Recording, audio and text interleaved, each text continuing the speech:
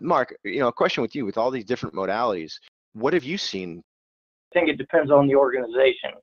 But in the provider space, they will tend to, to gravitate towards simulation because it's such high consequence generally. Um, but most of the organizations that we're dealing with, certainly in life sciences and pharma, they're really trying to focus on video because of the YouTube culture, if you will, and mm. what we've what we've seen and what we've adopted is kind of a, a culture across everything that we do, and that's having short bursts of video and making sure that we can deliver it on a smartphone or a tablet. So mm-hmm. I, I think it is interesting. The data shows that they don't believe it's effective, and I, I just would question how much of that they're using right now and how they're using it with smartphones, or maybe they're not doing it as much through smartphones as they can. So we'll see.